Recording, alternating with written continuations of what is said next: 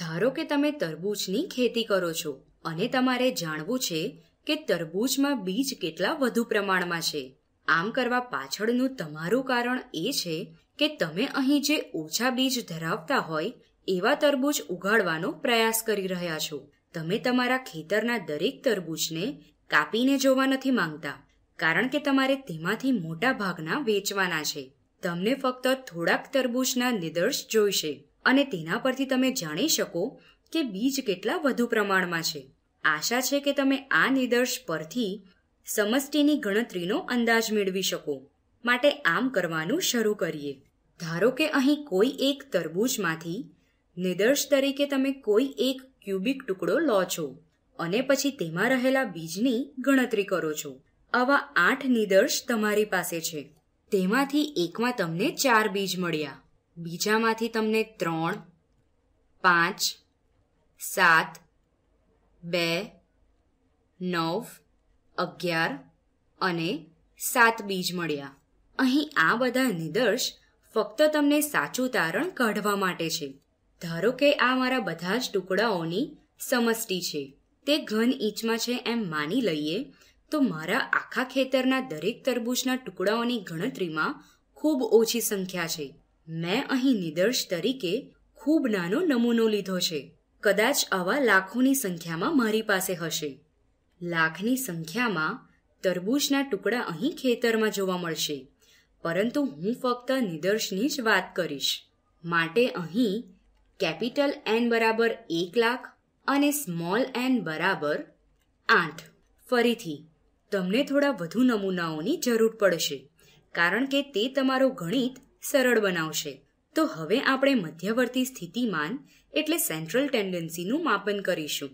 જે મધ્યક, એટલે મીન જ છે. પરંતુ અહીં આપણે નિદર્શ મધ્યકની મદદથી સમષ્ટિ મધ્યકનું અંદાજિત મૂલ્ય શોધવાનો પ્રયાસ કરીશું. તો અહીં નિદર્શ મધ્યક શું મળશે? તેના બરાબર બધા જ પ્રાપ્તાંકોનો સરવાળો અને પછી પ્રાપ્તાંકના સરવાળાને પ્રાપ્તાંકની કુલ સંખ્યા વડે ભાગીશું. માટે ચાર વત્તા ત્રણ બરાબર સાત સાત વત્તા પાંચ બરાબર બાર બાર વત્તા સાત બરાબર ઓગણીસ ઓગણીસ વત્તા બે બરાબર એકવીસ એકવીસ વત્તા નવ બરાબર ત્રીસ ત્રીસ વત્તા અગિયાર બરાબર એકતાલીસ અને એકતાલીસ વત્તા સાત બરાબર અડતાળીસ. માટે અહીં આપણને અડતાળીસ ભાગ્યા આઠ મળે છે અને અડતાળીસ ભાગ્યા આઠ બરાબર છ થાય. માટે અહીં આપણો નિદર્શ મધ્યક છ થશે. હવે તેના પરથી આપણે અંદાજ લગાવી શકીએ કે આપણું સમષ્ટિ મધ્યક શું છે. પરંતુ આપણે એ પણ જાણવાનું છે કે સમષ્ટિમાં કેટલો ફેરફાર છે અને કેટલો ફેલાવો થાય છે તેનો પણ અંદાજ લગાવવાનો છે. અને સાથે જ આપણે પ્રાપ્તાંક એ આપણા મધ્યકથી કેટલા દૂર છે એ પણ જાણવાનું છે. આમ કહી શકાય કે આપણે નિદર્શ વિચરણની ગણતરી કરીને સમષ્ટિ વિચરણનો અંદાજ લગાવી શકીએ. માટે હવે આપણે નિષ્પક્ષ નિદર્શ વિચરણની ગણતરી કરીશું. આશા છે કે આપણે શા માટે એન ઓછા એક વડે ભાગીએ છીએ તેનો તમને ખ્યાલ હશે. માટે આપણે નિષ્પક્ષ નિદર્શ વિચરણની ગણતરી કરીએ. તો તેના બરાબર શું થાય?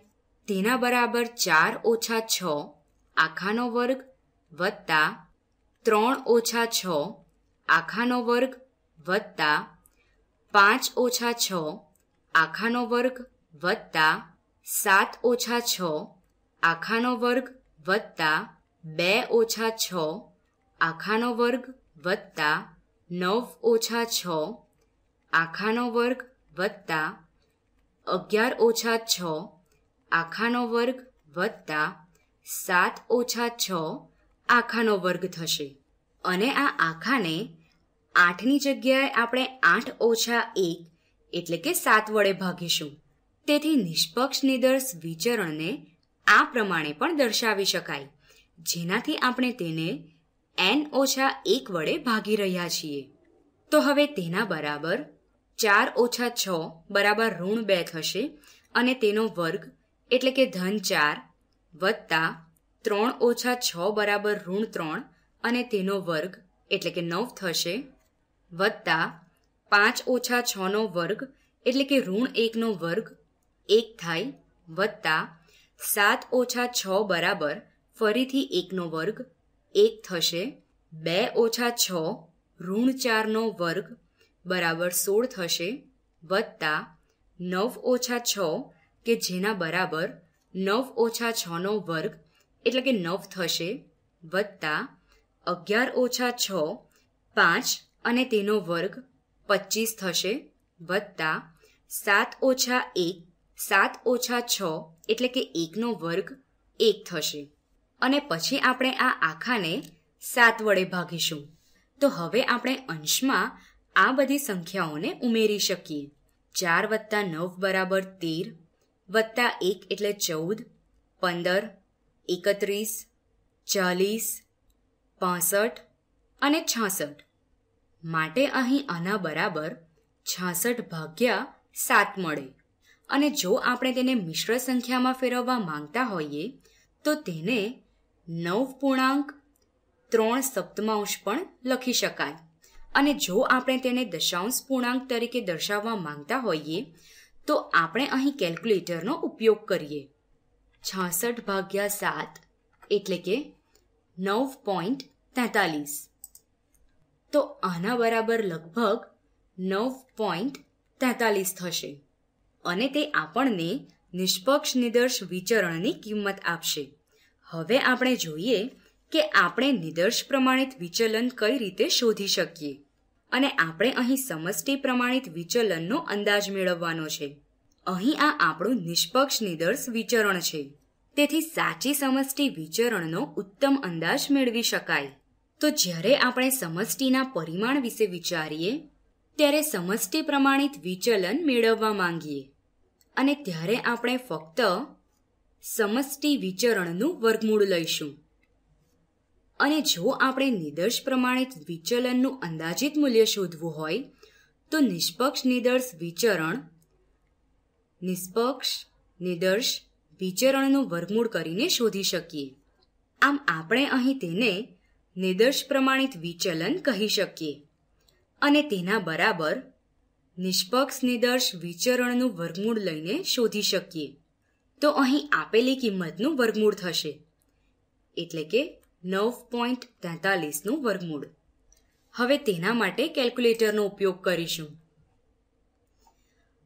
અને તે આપણને અંદાજે ત્રણ પોઈન્ટ ઝીરો સેવન મળશે.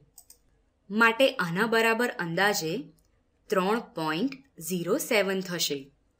હવે હું તમને અહીં ખૂબ જ ઉપયોગી વાત કહેવા જઈ રહી છું. આના વિશે આપણે પહેલેથી જ ઊંડાણમાં વાત કરી ચૂક્યા છીએ. અને જ્યારે આપણે તેને એન ઓછા એક વડે ભાગીએ છીએ, ત્યારે અહીં આ નિષ્પક્ષ સમષ્ટિ વિચરણનું અંદાજિત મૂલ્ય છે. અને જો આપણે કોઈપણ કિંમતનું વર્ગમૂળ લેવું હોય, તો આ સૌથી સારી શરૂઆત છે. પરંતુ આ બદલાઈ જાય છે, કારણ કે વર્ગમૂળ વિધેય એ અરેખીય છે અને તે આવી રીતે વ્યાખ્યાયિત થાય છે. અને અહીં આ નિદર્શ પ્રમાણિત વિચલન, નિદર્શ પ્રમાણિત વિચલન છે, જે નિદર્શ વિચરણનો વર્ગમૂળ બરાબર છે. અને તેના બરાબર વર્ગમૂળમાં આ રીતે લખાશે. માઇનસ એક્સ બાર આખાનો વર્ગ આઈ બરાબર એકથી સ્મોલ એન સુધી ભાગ્યા એન ઓછા એક. આ રીતે આપણે ખરેખર નિદર્શ પ્રમાણિત વિચલનને ભાગીએ છીએ. કારણ કે અહીં આ વર્ગમૂળ વિધેય એ અરેખીય છે. અહીં આ સાચા સમષ્ટિ પ્રમાણિત વિચલનનું અંદાજિત નિષ્પક્ષ નથી. આમ આપણે કહી શકીએ કે સમષ્ટિ વિચલનનું નિષ્પક્ષ અંદાજ મેળવવા માટે એન ઓછા એક વડે ભાગાકાર કરવું ખૂબ કઠિન છે. પ્રમાણિત વિચરણનું નિષ્પક્ષ અંદાજિત મૂલ્ય શોધવાનું કોઈ સૂત્ર શા માટે આપણે ન શોધી શકીએ? આ શા માટે કઠિન છે?